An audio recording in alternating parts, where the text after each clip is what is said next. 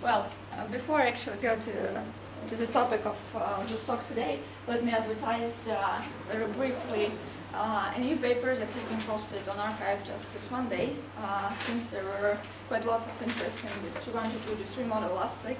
Uh, we thought maybe it's, uh, it's a good uh, idea to wrap up uh, our old project, and uh, so it's now on arXiv. Uh, again, we continue studying a spin-one model with next nearest neighbor interaction, also three-site interaction, but now not restricting ourselves to positive signs of coupling, but considering the complete phase diagram. And as you can see, we see a bunch of interesting critical phenomena such as Ising transition, also in case of ferromagnetic nearest neighbor interaction, Kosterlitz-Thouless transition, etc.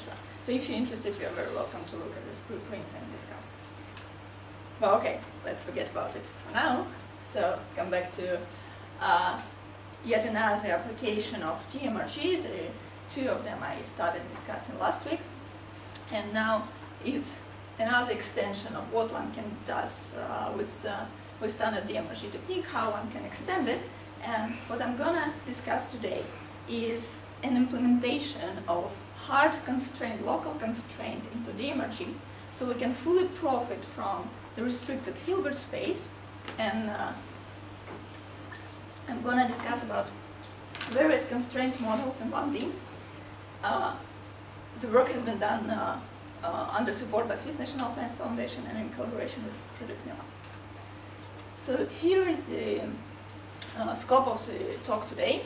I'll start with the introduction to the constraint model and I'll uh, first introduce you the model which you're probably familiar with from uh, studying from uh, undergraduate courses. This is quantum dimer model. We have seen it already a couple of times in the context of 2D, uh, but now I'll introduce how one can actually define it in 1D.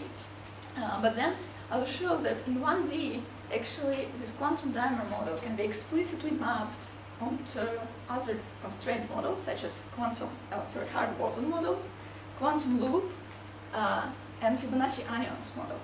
Such different models studied for a long time in the context of uh, different contexts, uh, also with exact diagonalization and DMRG, now can be actually mapped rigorously onto each other. And then I'll proceed to numerics. I'll show how one can actually implement uh, local constraint directly into DMRG. So it's an example of non-abelian symmetry, but in very different ways than usually people understand non-abelian symmetry in the context of DMRG. And then as a physical result, I'll present a phase diagram for all these models that contains very long-standing problem of presence of floating phase and or chiral transitions and also some other critical properties if I have time left.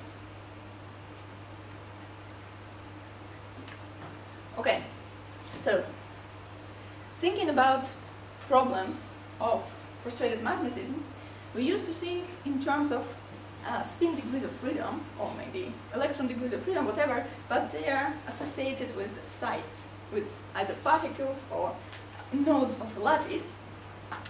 And the Hamiltonian is also described in the Hilbert space, in the local Hilbert space of such sites. So here I show uh, probably the most simple isotropic Hamiltonian for spin systems, which is Heisenberg Hamiltonian. And as you see, defined by an operator sitting on a lattice node or a lattice site.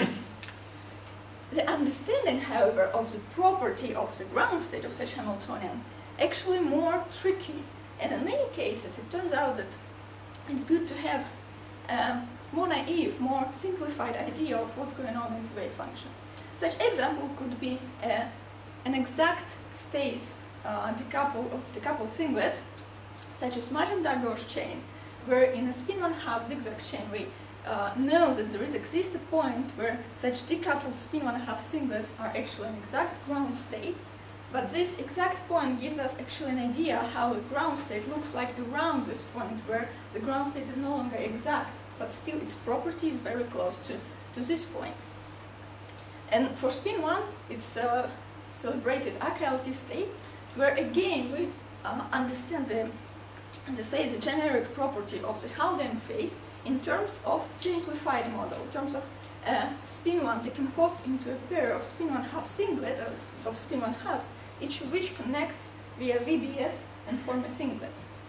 Such simplified uh, representation on the level of understanding actually turn us uh, to, uh, to a point where we can try to also generalize it to, uh, to the simplified model itself.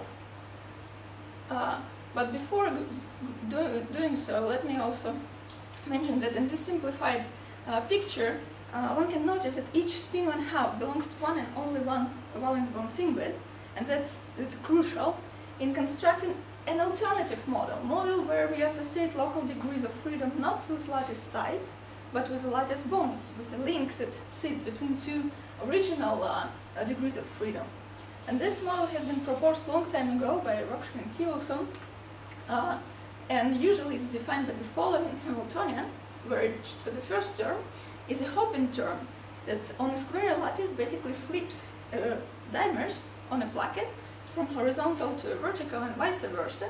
And the last one basically counts the number of flippable plaquettes. I'll come back to, to the property of this Hamiltonian later. But you see, this Hamiltonian actually complemented by a local constraint. And it's very similar to what we had before. So there cannot be free nodes. Means that the number of dimers we're using in our system has to be a full covering. We have to connect all nodes of our original lattice by a dimer. And there are no corner sharing dimers. And again, that's what exactly what we set up here. So what does it imply in practice? So here I draw a few uh, configuration on the ladder of allowed and forbidden uh, dimer configuration. So here we have free nodes, corner sharing dimers, but what we also forbid from our consideration, and it will be clear uh, soon, is long-standing dimers. So it excludes some of the Hilbert space from our consideration, but it's going to be sufficient for our purposes. Now the question is about Hilbert space. So if we want to treat this part as a not only as a separate model, but also as a simplified version of this one, we need to gain something. And at the naive level, the number of particles for a ladder that was 2n here, n is number of rungs, actually grows. Now it grows as a 3n. So what happens to Hilbert space? Here, it grows as a 2 in the power 2n, but here, due to this local constraint, it actually grows much slower. It grows only as a Fibonacci number, which is 1.6 in the power of n. And that's a, an extreme gain we can get from this constraint. Actually, there is a very elegant proof why it is growing as Fibonacci number, right, so slow. It has been given long time ago by Martin Delgado and Sierra. So if you consider a ladder with n rungs, its Hilbert space could be decomposed into a Hilbert space of a ladder with n minus 1 rungs times a dimer on the last one, plus a Hilbert space of a ladder with n minus 2 rungs times the two horizontal dimers on the last plaquette. But this is nothing but a definition of a Fibonacci number where we sum uh, two last uh, entries of, of, a of a sequence. Okay, now about physical motivation. So first of all, uh, let's look at spin one half model. So it's nearest and next nearest neighbor on the legs. It's spin one half ladder. And a rung interaction, just nearest neighbor obviously.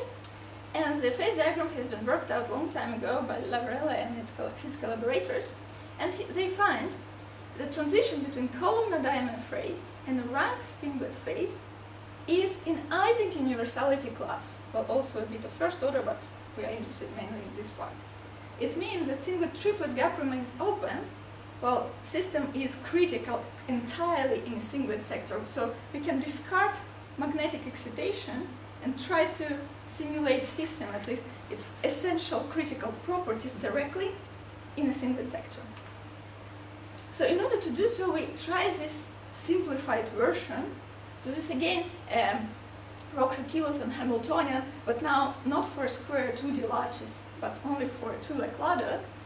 Again, we have a hopping term, but since we break a rotational symmetry, we introduce two uh, different couplings. The one which counts the number of flippable plaquettes with leg dimers, and the one which counts the flippable plaquettes with leg dimers. When V run goes to minus infinity, obviously we uh, stabilize this configuration. So we maximize the number of plaquettes with rung dimers. And this would be a rung dimer phase, similar to what we have here.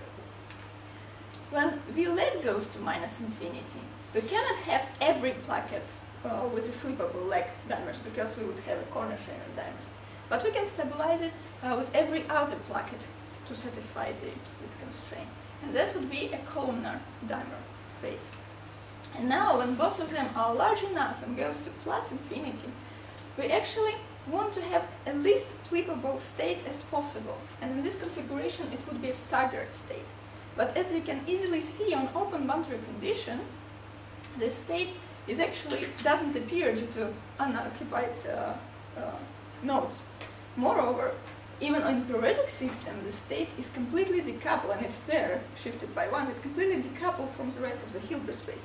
You cannot apply this uh, transformation to the state and end up in any other state. So it just uh, it just decouple. Therefore, we eliminate it. And the next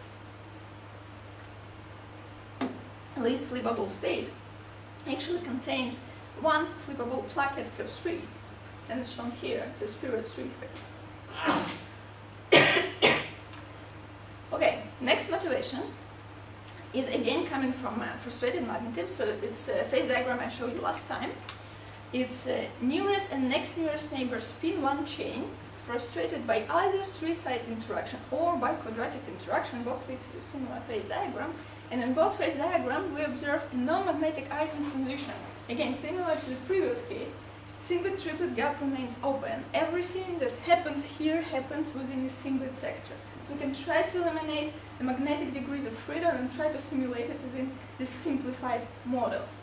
Now, we use this VBS representation of the uh, spin 1 uh, phases and define a generalization of this constrained quantum dimer model, a quantum loop model that now basically mimics a spin 1 uh, degrees of freedom. So we have two um, quantum dimers that coming out from single site original lattice.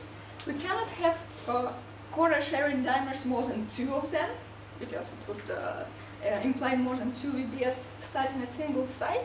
And we count, again, we have very simple, uh, similar uh, term with only difference that now it's uh, Uh, on a uh, shifted uh, plaquette. And we count the number of double dimers and single dimers on the nearest neighbor bond. We also exclude a longer range dimers from consideration. So here I show again an example of allowed configuration. And there is yet another model, uh, hard boson model. so it's a model, it's a chain of sites that could be either empty or occupied by a boson and the constraint is such that we cannot have two bosons sitting on the same site, nor on nearest neighbors. The model has been proposed by uh, Fendley and Sengupta and Sachdev uh, in 2004 uh, and it contains a three-term, again, hopping term, uh, basically chemical potential that counts the total number of bosons in the system and the next nearest neighbor repulsion. Remember, nearest neighbor is just impossible because of constraint. The model actually is very motivated now since recent experiment 2017 on Rydberg atoms. In experiment, they stabilize a set of Rydberg atoms and they excite uh, the atoms into an excited state but there is a strong repulsion between two atoms in excited states. Repulsion uh, scales algebraically but with very high uh, power, it's uh, L to the 6, and therefore on a small enough scales, it basically acts as a, an exact constraint, acts as a blockade that doesn't allow two nearest neighbor particles to be in excited states at the same time. So you see, this really acts as this old model proposed by uh, and Sengupta and such before. Uh, so what's common in all these models are, okay, they all constrain, obviously, but also the Hilbert space in each model grows as a Fibonacci number with a number of particles. And the natural question that arises here, is it only a Hilbert space or actually uh, is there a deeper connection to it? And the answer is the models could be regressive to each other. So let me start uh, first by uh, showing the mapping and uh, also by showing the equivalence of the Hilbert space. So in order to show the equivalence, we start and group a local degrees of freedom into two sectors. Uh, in quantum dimer model, I'll mainly consider the first two because then that's easy to generalize. In quantum dimer model, in the first group, I place a plaquette with two horizontal uh, dimers, and in hard boson, I place a state that is occupied by a boson. My reason is the following. I cannot place two plaquettes like this next to each other. And at the same time, I cannot place two bosons next to each other by constraint. And here I put all the, the, the other, all uh, non-used uh, states of a plaquette or of a site uh, onto, onto remaining group. And now either uh, these states can be placed to each other or they can actually follow this site. Uh, now let's consider how it implies actually to Hamiltonian. Let's try to, to uh, map the Hamiltonian, not only the Hilbert space. And in order to do so, I start with a quantum dimer Hamiltonian, and I will try to rewrite every term in terms of hard bosons. So uh, the hopping term is basically equivalent to this uh, hopping term in hard bosons. Why? Because what it does, it brings this state in the first group into a state of a second group, and vice versa. And here it's equivalent to creating or annihilating a boson. The last term is very easy. We just count the number of states in the first group, and that means that we count the number of bosons in the lattice. And this one is a bit tricky because what it does, it uh, counts the number of three consecutive plaquettes non-occupied by a member of the first group. So it counts three consecutive sites non-occupied by hard bosons. And now if we use a translational symmetry and constraint, we can end up with this uh, relation that could be reduced to, to original Hamiltonian. It's very simple uh, algebra to do. Uh, it's very easy to show that it's actually the same is true for also quantum loop model, but at two particular points it's also true for Fibonacci numbers. Now, how to implement this constraint into DMRG? So, as you know, DMRG we write the total Hamiltonian as this uh, uh, product of local uh, matrix product operators, but now we try to approximate the wave function as a product of matrix product states. And in each level, we want to select only those states that are not violating quantum dimer constraint. I will be talking mostly about quantum dimer constraint because it's the most easiest to implement. You will see in a moment why. Okay, so the, the, the place to modify your algorithm is mostly here when we uh, basically have to select at each uh, matrix product state, you have to select uh, only those blocks that are allowed by local symmetry. So let me try to give you one particular example. I start to build all possible states of my left environment uh, for quantum dimer model. I start with a single leg. It can be either occupied by a dimer or empty. And to uh, build a constraint, I have to introduce my artificial quantum numbers or labels. So I choose them in the following way. If I have no empty nodes, I assign zero. If I have some empty nodes, like here, I send one. Now I add two more uh, legs. And here I don't have much choice because my first uh, rung is occupied. So I have to add empty legs. And I keep my uh, label the same for a moment to be clear why. Here, again, I have no much choice. I have to put the dimers onto these legs, otherwise my first two nodes will remain unoccupied, and that would be forbidden by symmetry. Now I add yet another rung, and here I can either add a dimer or an empty rung. Here I don't have any empty uh, nodes, so I assign label 0. Here I have two nodes empty, so label is 1. I don't have much choice here, so I add empty rungs, no free nodes, label 0. I continue. I add two more legs. Not, not much choice here, label 0. I have to add two rungs here because otherwise unoccupied uh, uh, nodes. Sorry. And here I have to add empty nodes.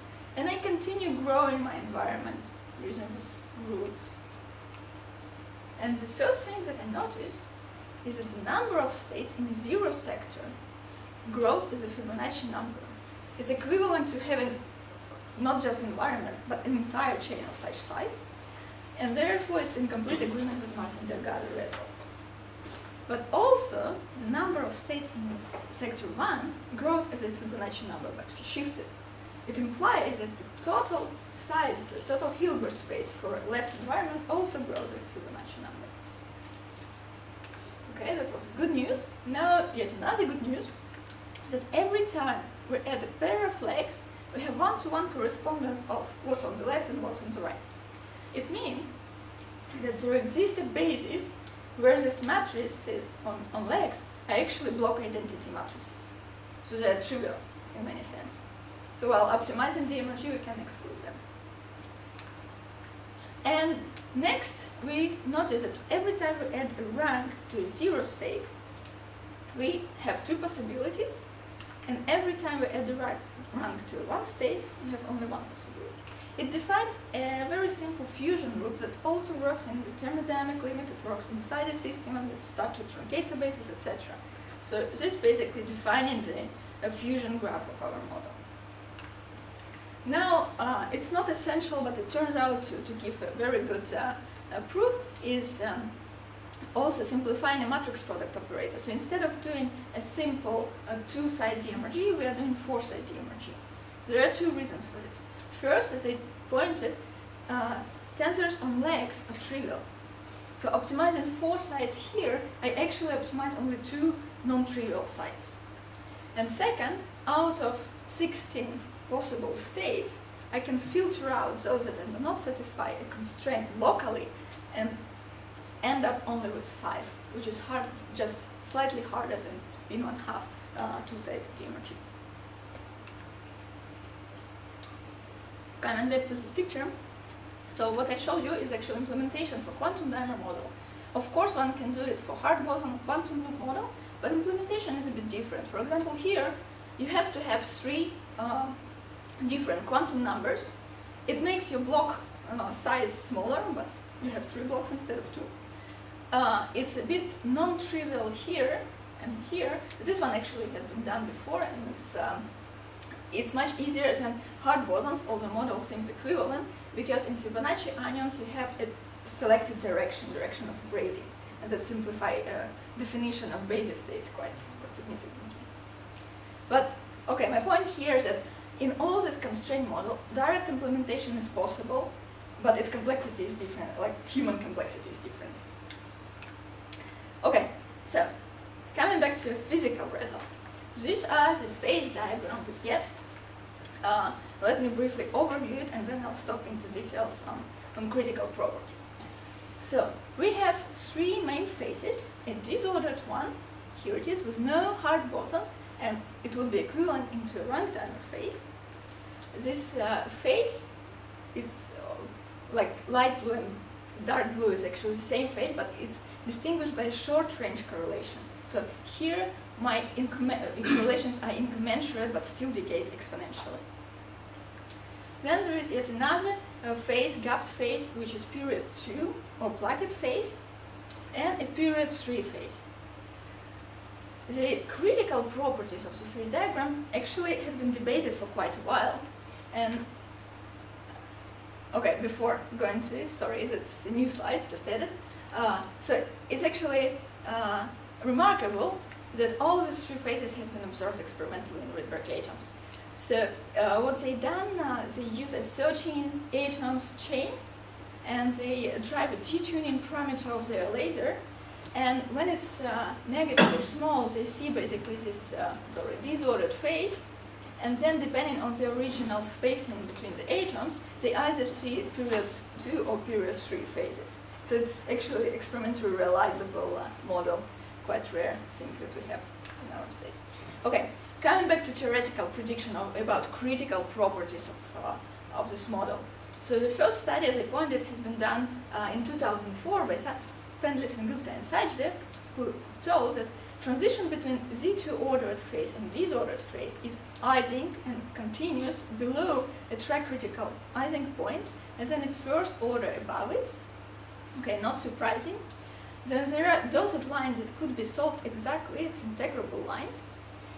Transition between this period 3 phase and disordered phase is in three-state Potts universality class when critical line crosses this exact, uh, exactly integrable line.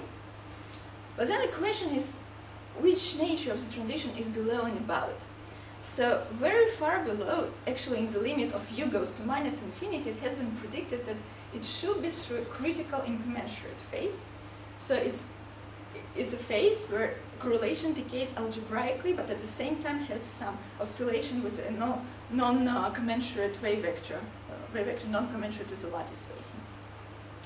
And above it, it was not cl absolutely clear. It could be either first order or chiral or maybe the same incommensurate phase. So uh, Bethe ansatz worked only in the limit when u goes to minus infinity and there were almost no prediction about it. Very recently, in 2018, uh, Sachdev and uh, his group came back to this model and they probe with exact normalization the transition above the Potts point. And in particular, they confirm uh, their result that up to v goes to infinity, the transition remains direct, so no intermediate phase, and chiral, so uh, non-conformal. But then, there is a field theory argument presented in the same paper that it should be the same, that the nature of the transition should be the same around Potts point. So if it is chiral here, it has to be kind of the same here. And then there are big disagreement between these two uh, papers. So we aim to resolve this uh, puzzle.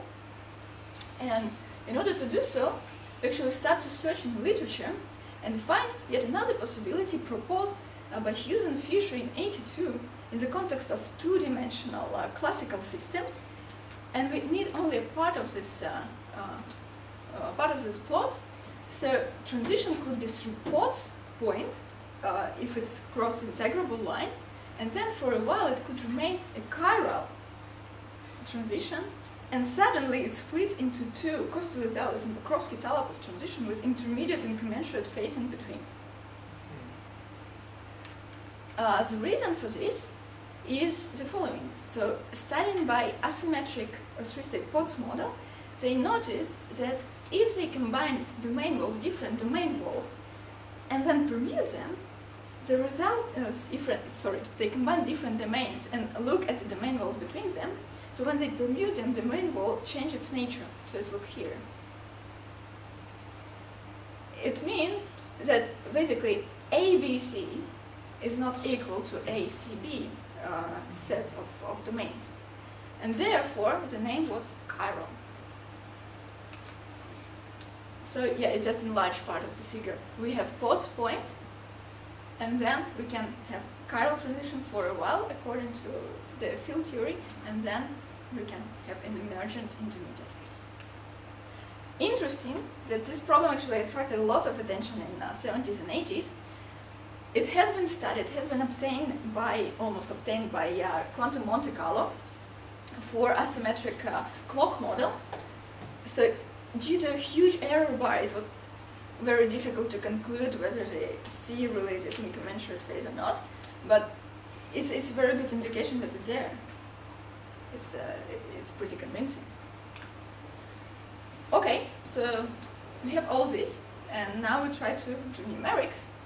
So how we can distinguish between these three cases, uh, three-state Potts, uh, chiral, and, uh, uh, well, two-step process. two-step process meaning Kosterlitz-Thouless and Pokrovsky-Talapov. And the good quantity to look at is actually a product of delta q, distance between an incommensurate wave vector to its commensurate value 2 pi over 6, because we are looking to period 3 phase.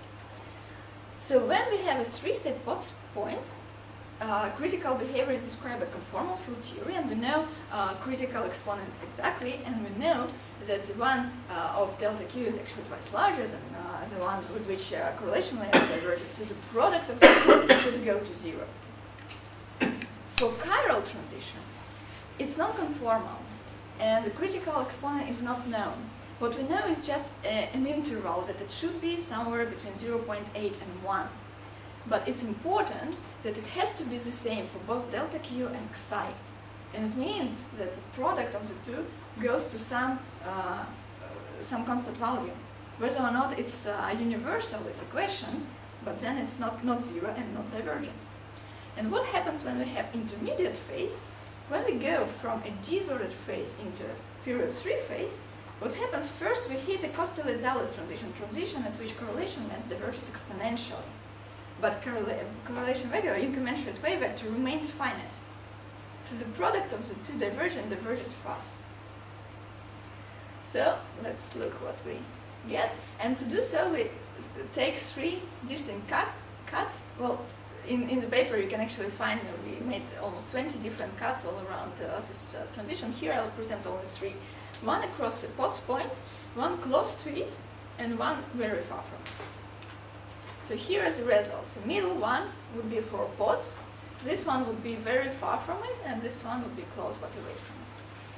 I measure three different quantities. Inverse of the correlation length, wave vector q, and the product I discussed, delta q times xi. So when I have a Potts point, you see a correlation length, inverse of the correlation length vanishes at a single point. So if I try to fit separately left and right part of the curves, I find there is no intermediate uh, distance between the two. And also critical exponents are pretty close to each other. Of course, uh, it wouldn't be the case if I have two different transitions such as Kosterlitz-Thouless and Pokrovsky-Talapov. Also, uh, when I try to fit uh, wave vector q approaching 2 pi over 3 commensurate values, uh, I get a cor almost correct critical exponent uh, in comparison to CFT prediction, and the product of these two values definitely goes to zero.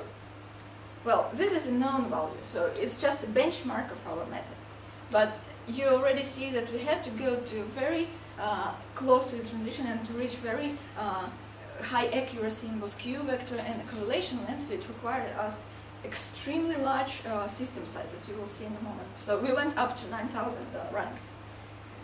Uh, on the very far from, uh, from the transition, sorry, very far from Potts point, here we see very different behavior. So on the left we have exponential growth of the correlation length, so inverse decays very fast.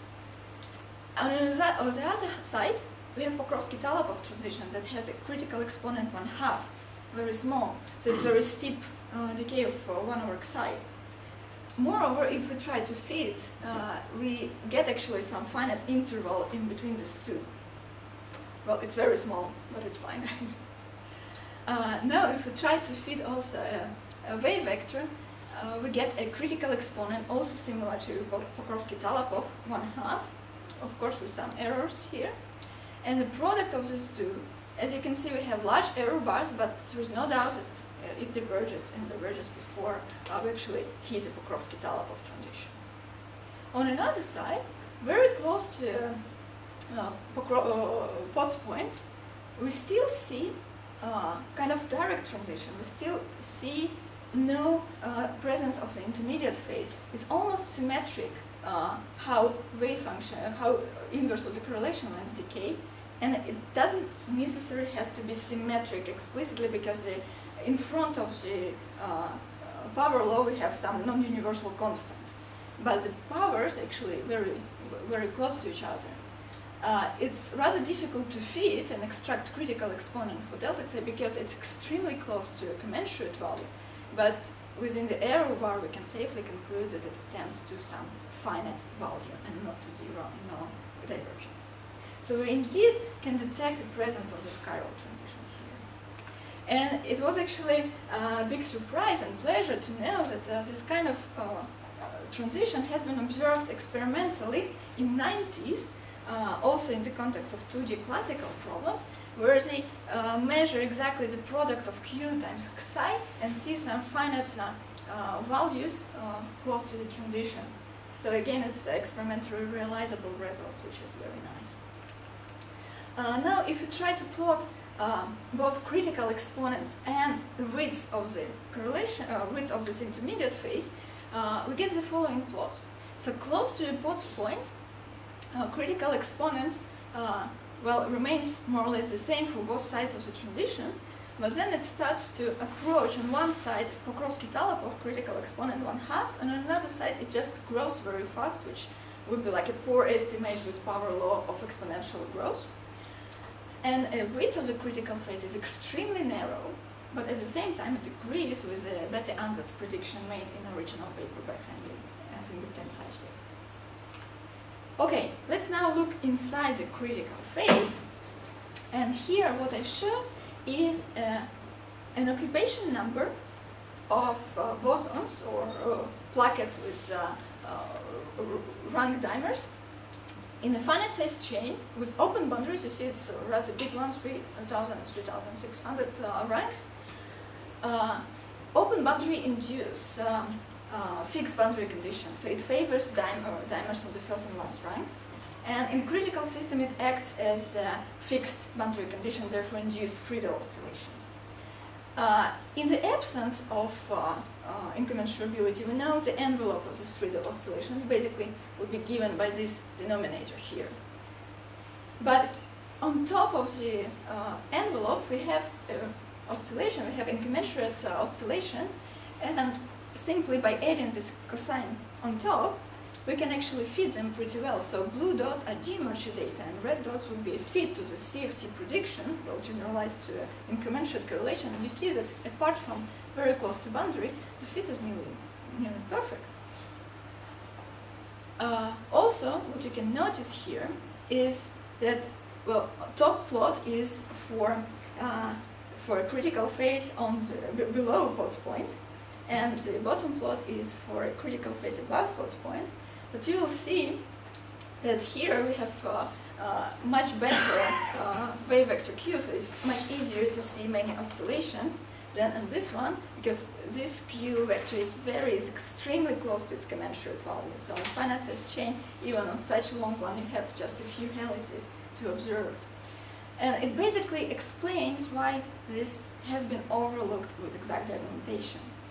So for V equal 20, as shown here, we estimate the first system size at which you start to, to, to see some uh, oscillation, at least one single helix, about 1,000 sites. It's just unreachable with exact diagonalization. And the reason for this is actually here.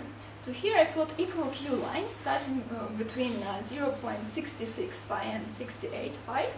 And you see that on this side, uh, below Potts points, they actually condense so my Q vector changes very fast within a short uh, parameter range. Well, on this side, but uh, it uh, remains actually quite dilute. Uh, what we also measure inside the critical phase is, of course, uh, central charge. And also to do it uh, properly, we have to eliminate oscillations.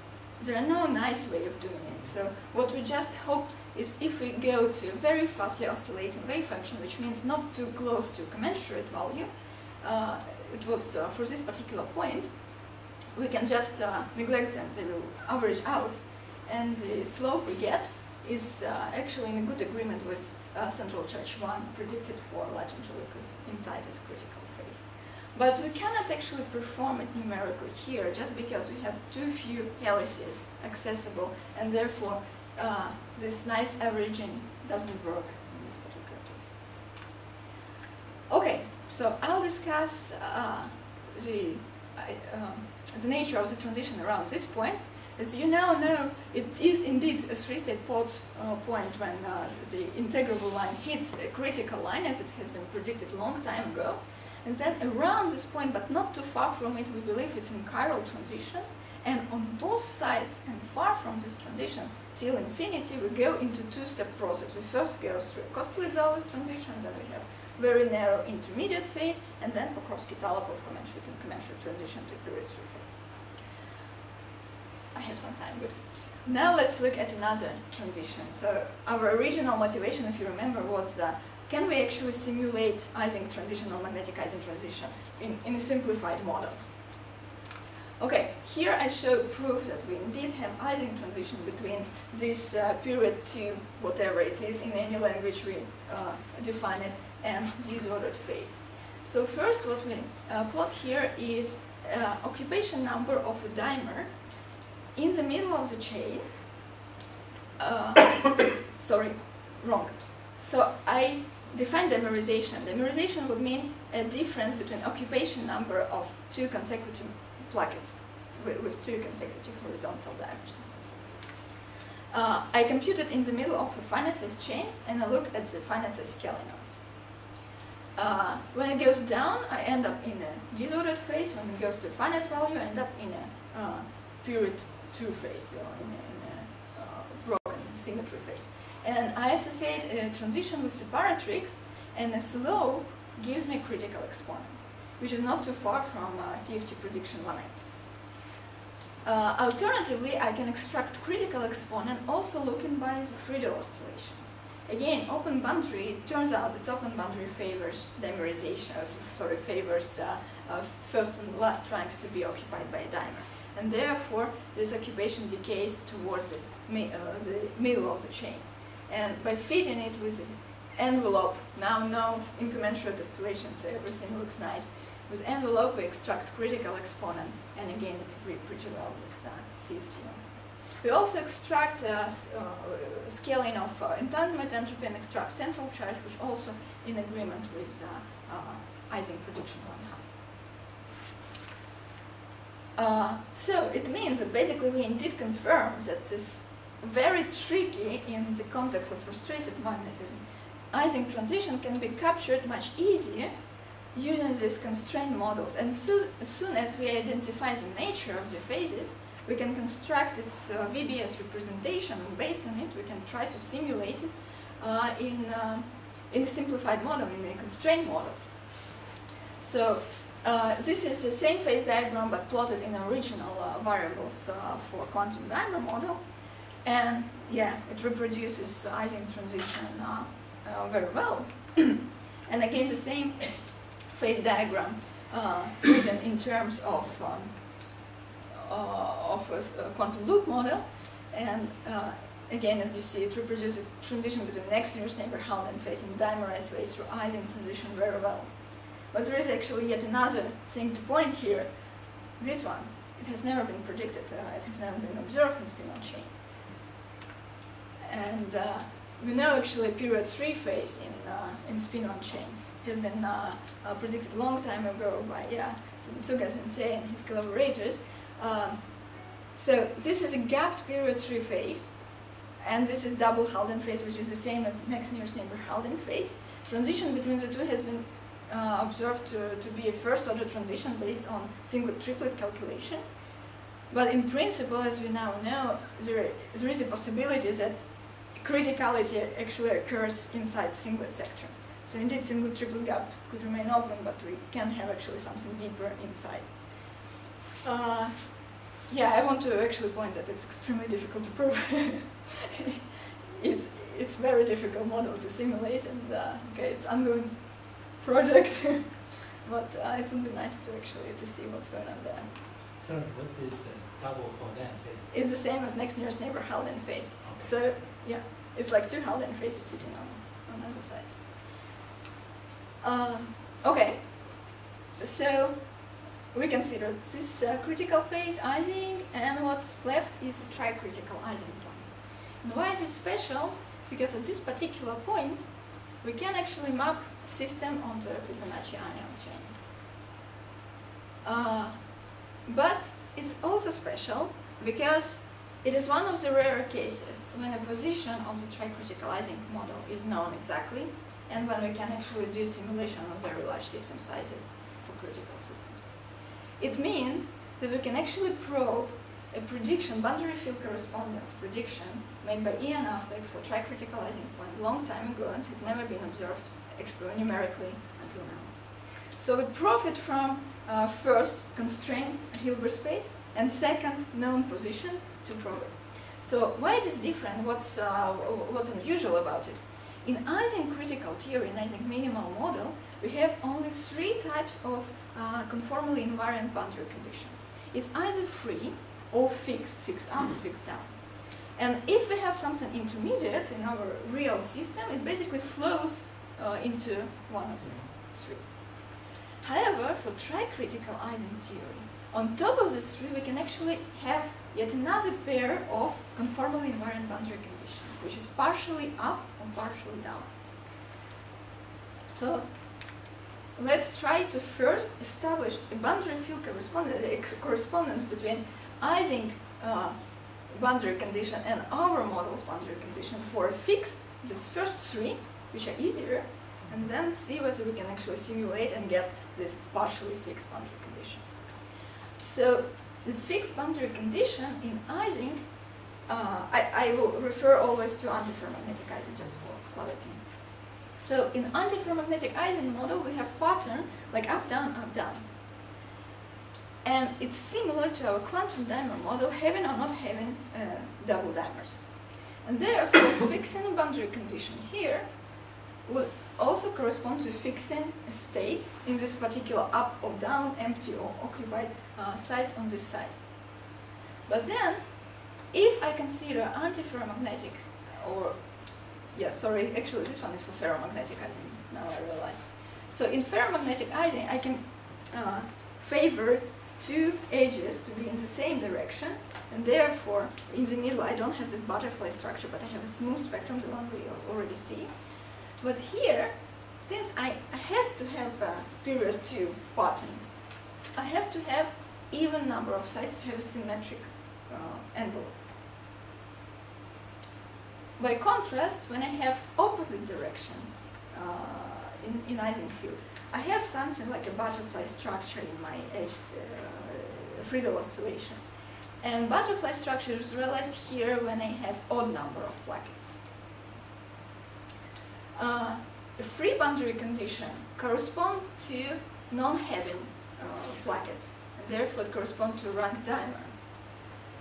And combined, for example, up and down, basically is the same as combined. And it doesn't matter whether I combine up and zero or down and zero, it just gives the same. Uh, then there, there were prediction for this uh, uh, types of models, just a CFT, different uh, primary fields that correspond to a spectral excitation spectrum for this uh, fixed boundary condition. So we try to now fix boundary condition in our system and try to see these conformal towers inside. So in order to get conformal towers, I follow basically the method I described last week, and uh, basically it's also uh, summarized here. Uh, so I compute many uh, excitation levels, many energy excitation levels, and see how it scales with the system size, inverse of the system size. First, the fact that they scale linearly means that I have conformal system, and the structure of it uh, basically corresponds to every specific conformal tower, every specific primary field. Uh, you see, sometimes we have actually a combination of two conformal towers, so uh, here I have several. And again, uh, to compare, Blue dots are always DMRG data, and lines, colored lines, would be CFT prediction. So the agreement is perfect. It means that we identified our fixed boundary condition or free boundary condition in a good way. Now, what about this partially polarized boundary condition? So again, this part has been worked out by Affleck, and uh, obviously, when we try to uh, understand what, what is partially up or partially down, the first guess would be it's just a weak, not fully polarized uh, up, but with a, with small boundary field, with a small with a boundary field that uh, favors, but not, not too strongly, uh, this uh, type of uh, on the first and last side. And the same for the rest. And since we don't know at which exactly field, at which exactly boundary field we actually stabilize the spectra, we tune this boundary field. So here I show a spectra for 240 sites. Uh, when boundary field is too small, is uh, very negative, and it means actually that we favor rung uh, dimers on, on the first and last rung, we have one structure of the spectrum. When boundary field favors uh, two uh, the plaquette dimers, oh sorry, uh, leg dimers, we have another structure of the spectrum that cor would correspond to fixed boundary condition here. But in between, it doesn't go smoothly uh, or continuously to, to, from one spectrum to another, but we go through some intermediate spectrum which actually correspond to this uh, weak, uh, critical, uh, weak boundary conditions, not fully polarized. So if I take the best approximate for this uh, uh, point. If I identify a boundary field at which my spectrum is actually matches uh, uh, matches exactly the uh, CFT prediction, I can also compute all possible variational possible combination between this partially polarized boundary condition with itself or with free or with uh, fully polarized. And you see I basically can probe all uh, possible primary fields that appears in this tricritical Ising minimal model. So it's uh, kind of nice contribution to Sorry. this bold predicted results. Yeah, Between those two kind of fixed point, fixed, uh, here and here. Yeah. yeah, yeah. Is it a motif thing, you know, partially up, partially down? What make, how can you decide, how can you say it's Um, up or down? Imagine Ising model, just Ising model. So you have uh, you have a 6 interaction and a Z interaction. Uh, not interaction, sorry, Z field. And now, on the first and last sides, you start to tune your SD field. And you tune it from negative to positive. So, So in principle, your states followed by this boundary field, right? So they are polarized along this boundary field, but not fully polarized. You don't fix boundary condition, you're polarizing, but with a small, uh, small polarization. With some probability it's polarized up, and with some probability it's polarized down. so it's kind of like a multiple of both in some time. Ye- yes, you can think about it like a local superposition, right? But it's a local one. So on Ising it takes place on, on one side, and here it takes place on one plaquette. So you, you change local field, you change edge field. Uh, field is not um, is not so drastic. You can try to try to impose constraint on polarization. It's just in the image it's much more harder, and then change this constraint until you find the best uh. From a field theory point of view, it's very easy. You always draw you know fixed points. And then, uh, okay, here you have one more fixed points, and you don't care where this fixed point is actually located, but you do care in numerics. Okay, basically that's it. Um, so, what I show you today, uh, physics-wise, the transition between period three phase and uh, disordered phase could be of three different types. It could be either uh, three-state Potts point, if we know that uh, our wave vector is fixed to 2 pi over 3. It could be direct and chiral, which means non-conformal transition, or it could be through uh, intermediate incommensurate phase, critical incommensurate phase, and therefore it's two-step process. So first we hit a Kosterlitz-Thouless transition, and then commensurate incommensurate Pokrovsky-Talapov transition. Uh, regarding numerics, uh, constraint models not so difficult to implement, but the gain is enormous. Uh, the number of uh, uh, sites we can reach is actually uh, very large. And uh, also you see all correlations, all uh, uh, wave vector we can compute with, uh, with very high accuracy. Uh, and also there are many mappings between the models. Also probably besides the simple models I show you, also probably for larger, uh, well still 1D and 2D we believe it doesn't exist, but uh, probably many like ladders it could still be possible to find some models that would map to each other. And for tricritical point, uh, as I told you, it's identical to Fibonacci anyon chains, but also we can probe partial polarized boundary condition predicted a long time ago. With this, I would like to thank you for attention.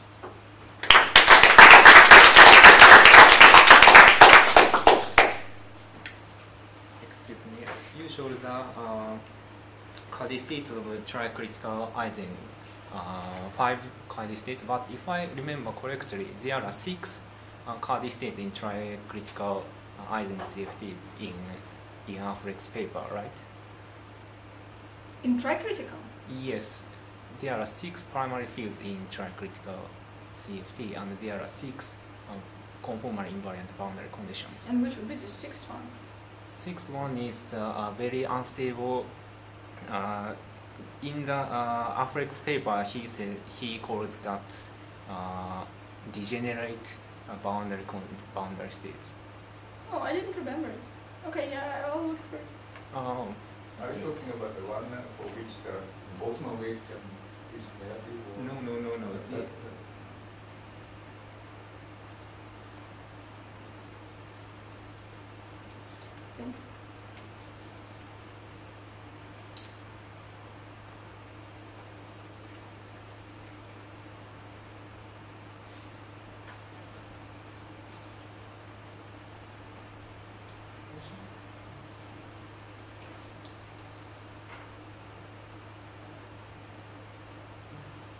for uh, tricritical Ising and the three-state Potts, did you calculate the uh, central charge? Yes, yes, I believe it's in the paper. Well, it was uh, in very good agreement. I, I think within 0.1%. But I think I remember that one is 0.7, the, the other one is 0.8. So it's very close. Yes, but location is known. Okay. No, it's, uh, I think for Potts we have something like 0.8001, Mhm. and for tricritical Ising it's also, it's, yeah, it's very good uh, precision. But of course you don't have such precision when you don't know the location precisely, so uh, it was just a very lucky case. Technical question. So have you thought about like using the, the, the constraint method, but in the, in the IDMRG context? I mean, you, you can simulate a very large system size. In principle, yeah, I mean, it's easy to generalize, right? But uh, I, uh, just by previous experience, realized that uh, DMRG is extremely powerful for critical system when combined with boundary conformals of theory. But, uh, but I agree that for this particular case uh, of uh, when I plot cor- correlation lengths, Mhm. uh, you can argue. I agree. Uh, I mean, my strategy was that I take uh, fixed uh, size is like 6,000, 9,000 rungs, but then I, I converge it to uh, my truncation error like vanishing, 10 minus 2 or whatever, it was for 10 minus 10 or something. But of course you can do it with infinite sized emoji, but then you never reach convergence, right? You have to extrapolate, Mhm. just alternative. Uh, Can you remind us how, how you knew where the tricritical Ising model was? Sorry? Can you remind us how you knew the location of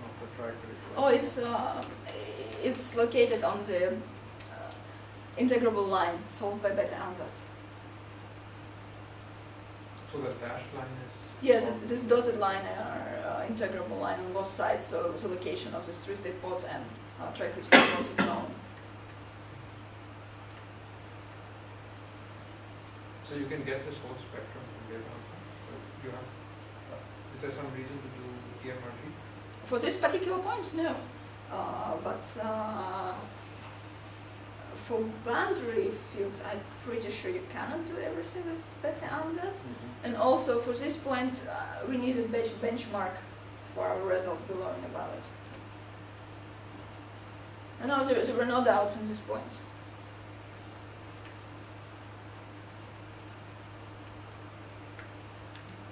Um, You mentioned that some experiments realized con- some constrained model. I'm Mhm. wondering if, uh, what kind of constrained model should be reasonable to know, account for experiments. Uh, I think by now the most promising one is hard bosons because it's just Rydberg atoms. So it's one-to-one correspondence between them. So it's not your, it's not your dependent B term in the experiment. Um, yes, I actually see it. Um I don't have the plot here, but indeed they. So they, in principle, I think they, they can very hardly by probe several points in between. They cannot tune it continuously, but they. Uh, so they can fix uh, the distance between particles in uh, well, probably not in continuous way, but more or less in a, in many small steps, and therefore they can in principle go in this direction as well. So only one particle is allowed to do this, this stuff. It's only one particle. No, no, no. Here, for example, every time you see a light uh, yellow color, you have uh, excited state.